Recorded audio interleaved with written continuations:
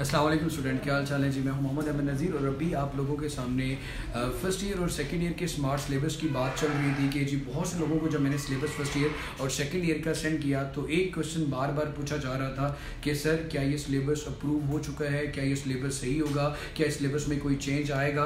ALP का syllabus जो बहुत से लोग मेरे से ले चुके हैं तो आज मिनिस्ट्री ऑफ़ एजुकेशन पंजाब की तरफ़ से, पंजाब का ये जो सिलेबस है, वो अप्रूव कर दिया गया है। और अगर इस सिलेबस की अथेंटिसिकेशन आपको चाहिए तो आप लोगों ने सिर्फ़ ये करना है कि आप लोग, जो मेरे थंबनेल में डिस्क्रिप्शन में लाहौर बोर्ड का जो लिंक आ रहा है, उसके ऊपर आप क्लिक करें। वेबसाइट के ऊपर जो फ़र्स्ट ईयर सेकेंड ईयर का स्मार्ट सिलेबस है, वो अपलोड कर दिया गया फ़र्स्ट ईयर और सेकेंड ईयर का जो स्मार्ट सिलेबस है पंजाब के लिए, तमाम बोर्ड्स के लिए ऑफिशियल वेबसाइट पर अपलोड कर दिया गया और वो वही सिलेबस है जो एएलबी की तरफ़ से गिवन था। एएलबी का प्रपोजल था और बहुत से लोग ऑलरेडी मेरे से ये सिलेबस ले चुके हैं। और अगर आप लोग भी ये सिलेबस लेना चाहते हैं तो डिस्क्रिप्शन में मेरा फ़ोन नंबर गिवन होगा।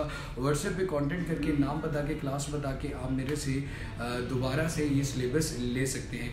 तो इस तरह की कोई भी इन्फॉर्मेशन इवन कि मैंने बहुत से लोगों को ये सजेशन भी दी थी सुपर संडे वाले दिन, कि आप स्मार्ट सिलेबस के अकॉर्डिंग अपनी तैयारी करें और अगेन अगर आपको कन्फ्यूज़न आती तो उसके बारे में पूछ लें।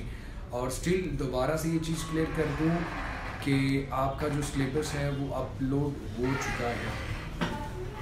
तो आप लोग चाहते हैं कि अगर आपको ए एन पी का सिलेबस चाहिए या अगेन आप लोगों को नहीं मिला तो अगेन आप मुझे व्हाट्सएप पे कांटेक्ट करके सिलेबस की पीडीएफ ले सकते हैं। So wish you good luck अब आपका स्मार्ट सिलेबस आ चुका है फ़र्स्ट ईयर का सेकंड ईयर का, इसके अकॉर्डिंग पेरी स्कीम भी नहीं आएगी।